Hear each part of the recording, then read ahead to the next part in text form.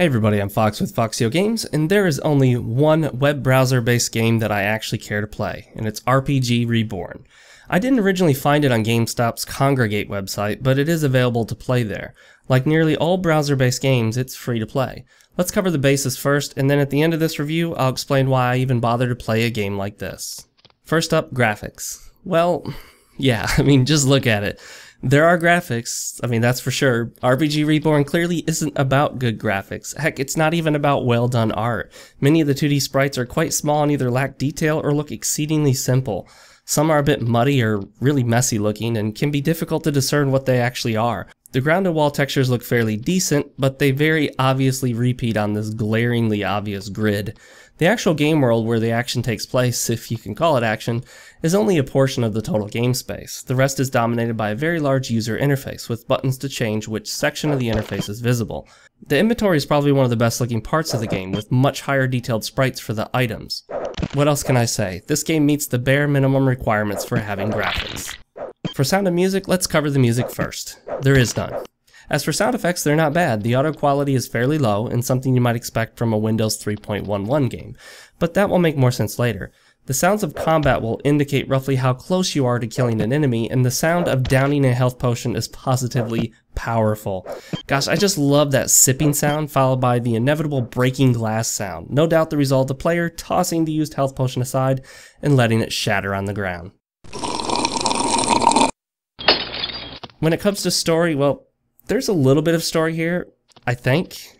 Maybe? Honestly, I'm not really sure. Suffice it to say, you're an adventurer who is battling monsters and other creatures on a quest to become stronger and acquire better gear, and that's the usual goal of all online fantasy games. Where RPG Reborn becomes a worthwhile experience for me is in the gameplay. Yes, there is gameplay here, incredibly simple yet surprisingly addictive gameplay. I think one of the reasons this game appeals to me so much is that it's a slightly nostalgic reminder of a game that I used to play and loved long ago.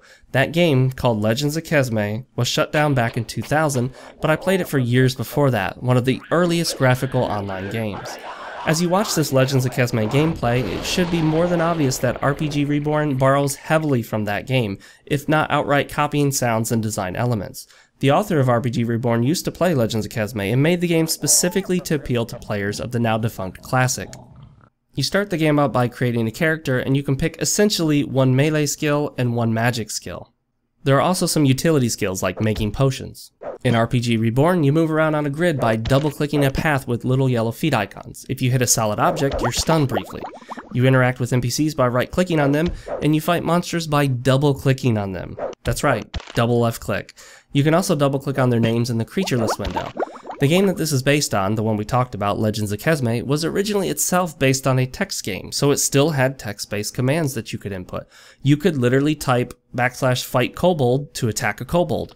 RPG Reborn has dispensed with nearly all of the text commands, something that kind of saddened me. After all, clicking endlessly on monsters to fight them could quickly lead to carpal tunnel syndrome. You don't get experience points, you gain skill levels. Your skills increase as you use them, such as increasing your skill with a specific weapon or magic class by simply attacking monsters with it or using it. You can use gold to train those skills so that they increase faster. And this is where RPG Reborn calls back nostalgic feelings to a fault. The game is painfully slow with character progression, just like the game it is based on. Back in the day, this was normal. It was common to play text-based MUDs for hmm. hours upon hours, day after hmm. day, just to gain one skill or one experience level. That's right, you heard me. Hours upon hours for days on end for one level. Well, nowadays, I think most players, including me, find this pace of progression simply way too slow.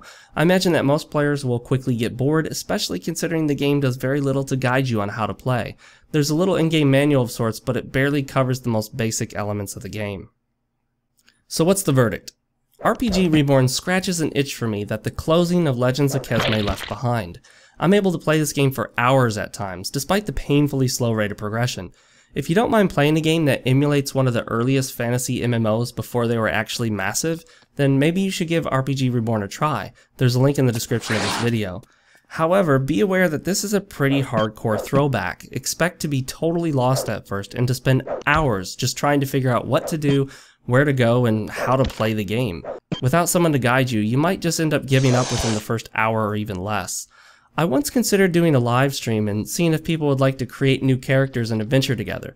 If there is interest in it, I'd consider doing it. Just let me know in the comment section below. Obviously, this only applies to the period of time shortly after this video is published.